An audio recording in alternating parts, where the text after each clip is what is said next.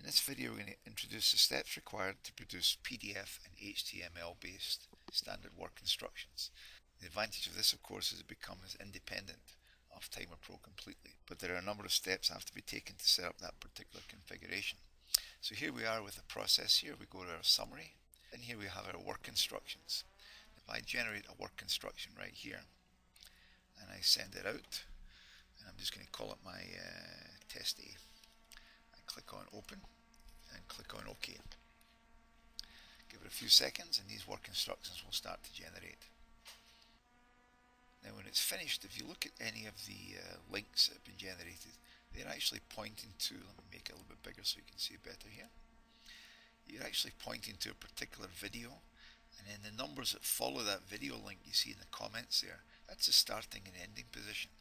Now you can't have those when you're sending data out to PDF or to HTML. The uh, PDF document and the HTML is not capable of finding a particular place to start playing the video from and stop playing at another point like Timer Pro is. So what we need to do is we need to go back in here and we're going to set up a, a number of different uh, steps here. The first thing we do is come over here and we're going to go to this area here called video processing in the right. It's in the summary area over in the right video processing. And the first thing we're going to do is we're going to extract the clips.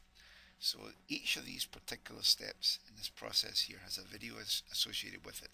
And we're going to click on the extract clips and it's going to take it from the source video and extract the particular starting and ending point. So we just got a small file for each. So it says extracting video clips may take some time. Continue. Say yes.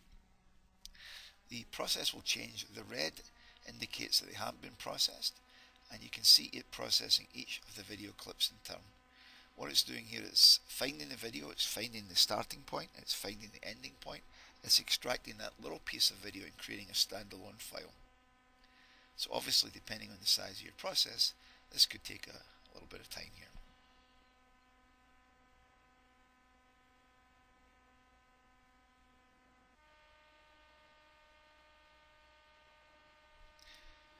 can see here all of my video chips have turned green which means that we were successfully able to extract the video clips.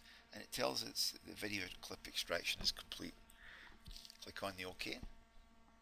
And then we can go to the status summary over here. And the status summary here is going to show us these extracted files. So you can see these numbers have been generated for each of the uh, clips in our process here. These are unique numbers, there is never a duplicate number Timer Pro. So you can see they're all unique here, all the way down here. And they've been placed into a folder in your Timer Pro package. So if we come out to our Explorer here, we go to Documents, we under Libraries, Documents, Applied Computer Services, you'll find YouTube vids right here. And if you open that up, you'll find every single one of these files is listed here, plus many more here. Now the problem is obviously if you do this for many processes, you're not going to know exactly which files belong to which process. Only Timer Pro knows that. So we give you a little option here that's very useful here. So if I come over here and I click on the package clips, and it may ask me for a particular folder, so I'll create a new folder here, and I'm going to call this process clips. I'm going to get into that folder, and then I just say save. And what it will do, it will just copy all of the clips unique to this particular process into that one folder. You can see the process clips here. So now you have it in one particular place, work instructions, process clips. And you can see they're all here. Right? So these are the files that we want to deal with here. So at this point what we've done, we've extracted it, extracted our clips, and we've created a package. Then what we want to do to make them available for calling from the internet we, so the idea here is you take these clips and provide them to your IT department because what they're going to do, they're going to put them onto a drive that is accessible via the internet. Only clips accessible via the internet can be called from uh, PDF documents and HTML documents. In the next video we'll show you how to do that.